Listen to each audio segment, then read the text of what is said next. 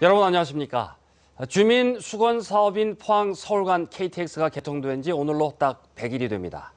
불편했던 시설도 개선되고 있고 다음 달 1일부터는 열차가 증편돼 표 구하기가 한결 쉬워집니다. 보도에 김철승 기자입니다.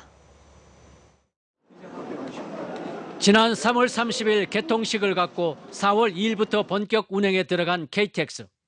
지난달까지 하루 평균 이용객은 4,570명으로 코레일의 예측 인원을 40%나 웃돌았고 지난 5월은 하루 평균 5,500여 명으로 예측치를 69%나 넘어섰습니다. 메르스의 영향으로 지난달 이용객이 크게 감소했는데도 승객이 이어졌습니다. 전에는 저 대구를 이용해서 오거나 아니면 저 자동차를 갖고 다녔는데 근래 이거 생겼다는 얘기로 이거 타 보니까 상당히 좀 편리하고 어 아무래도 갈아타는 게 없으니까 좋은 것 같습니다. 부족했던 시설들도 차츰 개선되고 있습니다. 코레일은 대합실에 의자를 더 설치했고 포항시는 혼잡을 막기 위해 석 대의 CCTV를 설치해 불법 주차를 단속하고 있습니다.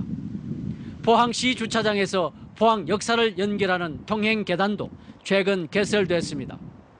코레일 네트워크스가 운영하는 역사 부설 주차장에도 별도의 무인 자동 출구가 오는 20일까지 개설됩니다. 이번 달부터 1층 공간에 어, 편의 공간과 음식점을 추가로 어, 개설을 준비하고 있습니다. 아, 그리고 어, 기타 부족하고 불편한 사항은 계속해서 개선하도록 표 구하기도 한결 쉬워집니다.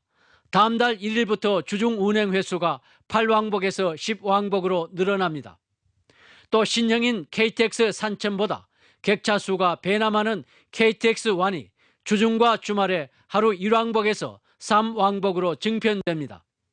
이에 따라 KTX 좌석은 주중에는 3,724석, 주말에는 2,084석이 증가하게 됩니다.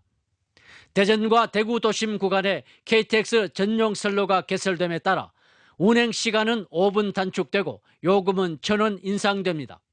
KTX 개통으로 포항 서울간이 반나절 생활권으로 자리 잡아가고 있습니다. MBC 뉴스 김철승입니다.